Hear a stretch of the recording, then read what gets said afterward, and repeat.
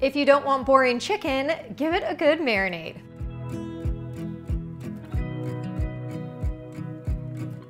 Chicken marinades are the best way to give your favorite protein some big flavor and maximum juiciness. From a bright Greek lemon to a savory teriyaki and a sweet honey mustard to a zesty cilantro lime, I'll share six chicken marinades with you today that the whole family will love. You can marinate the chicken for a few hours in the fridge for an easy weeknight meal, or you can pop the chicken in the freezer for a healthy future meal that's a cinch to make. So let's dive right in. All of the chicken marinades I'm sharing today will marinate about a pound of chicken, which, depending on the size of your chicken breasts, is usually two to three chicken breasts. The first flavor is a Greek lemon marinade, and since I know you're gonna ask me, yes, I'll show you how to write these labels on the stasher bags at the end of the video, so hold tight. But to get started with this one, you'll add a quarter cup of olive oil to a bowl along with the juice of one lemon, which is about three tablespoons of juice. And definitely use fresh lemons here and not jarred juice. To that, add two minced garlic cloves, two teaspoons of dried oregano, one teaspoon of dried thyme, one teaspoon of Dijon mustard, and to finish it off, one teaspoon of kosher salt and half a teaspoon of freshly ground black pepper. Then whisk that together until it's blended and emulsified. You can marinate the chicken in a glass bowl in the fridge, or you can use a plastic bag or a stasher bag, which is my personal preference, but you use what's easiest for you. For this Greek lemon flavor, I'll show you how to marinate in the glass bowl, and all you have to do is add your chicken breasts and then pour the marinade on top, making sure that the chicken gets covered. Then cover the bowl with plastic wrap or a lid and place it in the fridge for at least 30 minutes and up to about 8 hours. If you're using the stasher bag, add the chicken to the bag, and I'm just gonna get my hands all oily as the chicken is already coated, but that's okay. Then pour the marinade on top. Squeeze any air out of the bag. I just fold the top over to do that, and then seal it tightly across. You can also squish and squeeze the chicken in the bag to make sure it's well coated. Then pop the bag in the fridge. The next flavor is cilantro lime, and you guys know I am a sucker for this flavor. To make this marinade, add a quarter cup of olive oil to a bowl, along with a quarter cup of cilantro leaves that are just roughly chopped. Then zest and juice two limes. You should get about three to four teaspoons of lime zest and four tablespoons of juice from the two limes. Also, when you're buying limes, don't buy ones that are rock hard as they'll have less juice. To that, add two minced garlic cloves, one teaspoon of ground cumin, half a teaspoon of chili powder, 1 teaspoon of kosher salt, and half a teaspoon of freshly ground black pepper.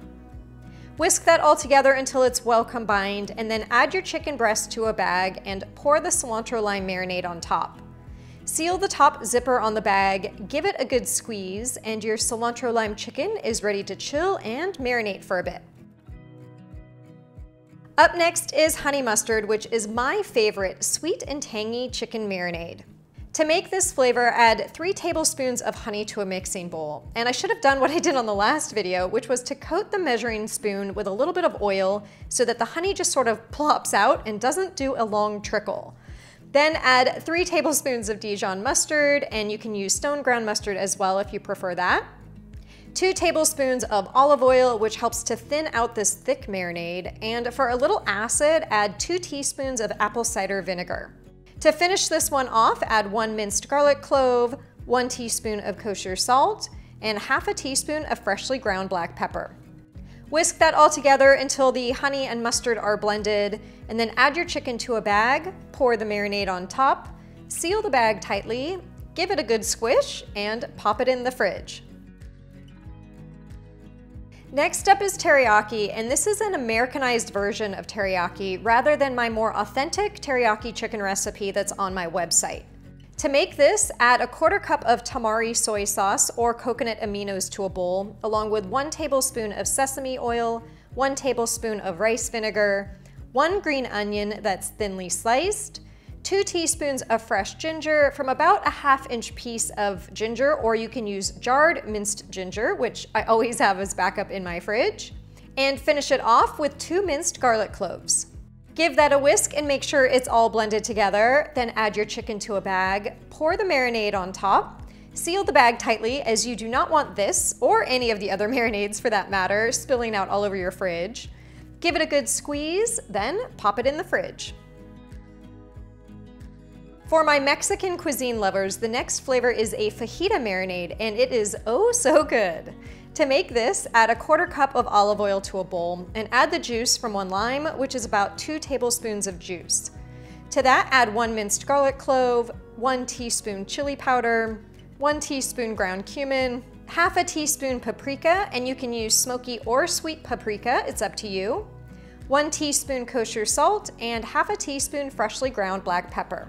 Give that a whisk to make sure that the spices get blended, then add your chicken breast to a bag, pour the marinade on top, fold the bag over and seal it up, then pop your fajita chicken in the fridge. The last flavor is an Italian marinade with a little kick, and it couldn't be easier to make. To a mixing bowl, add a quarter cup of olive oil, two tablespoons of white wine vinegar, two teaspoons of Italian seasoning, two minced garlic cloves, half a teaspoon of red pepper flakes for a punch of heat, though you can reduce this to a quarter teaspoon if you'd like, and half a teaspoon of kosher salt. Whisk that together until it's fully combined and you know the drill from here. Add the chicken breast to a bag, pour the Italian marinade on top, seal the bag tightly, give it a good squish to make sure that the chicken gets fully coated, then pop it in the fridge. These six easy chicken marinades will greatly improve the flavor of your weeknight meals. And the best part is that there's so much variety that you'll never have to eat boring chicken breasts again. But as promised, I'll show you how to write the labels on the bags, and I'll use the Italian marinade as an example. Stasher bags have a shiny side and a matte side, and you want to write on the matte side. The type of marker that you'll use is a chalk marker, which is similar to a dry erase marker, and it's not permanent. You do not want to use paint pen markers, which is what I've previously shown you to write on glass pantry jars, as they're more permanent. Then just write your label on the stasher bag and the date, especially if you're storing this in the freezer, and that's it. Ideally, you'd write the labels before you stuffed them full of food as it's easier to write on a flat surface. But if you forget, as I did today, you can see it's still no problem to write out the label on top. Now, if you make a mistake and want to rewrite the label, or if you want to remove the label and wash the bag, all you have to do is wipe it with a wet sponge and the label will come right off. It is super easy. These chicken marinades are also freezer friendly and I love that the stasher bags will stack flat. Just pop them straight into the freezer after you've added everything to the bag.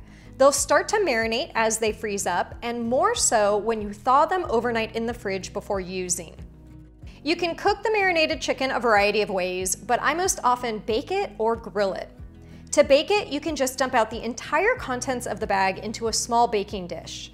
If you have a larger baking dish or rimmed baking sheet, I wouldn't add all of the liquid as it'll spread out and likely burn when baking. But it's fine for a small dish and the liquid helps to keep the chicken ultra juicy.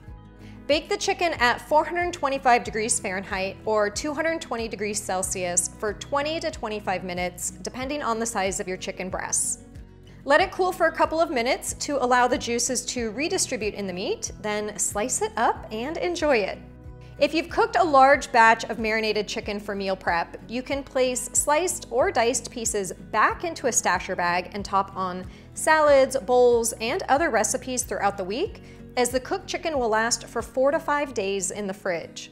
In a perfect world, I would have let this chicken cool for a couple of minutes before placing it back in the bag and also not burn my fingers, but you get the idea. If you enjoyed today's video, give it a thumbs up as that really does help to support my channel.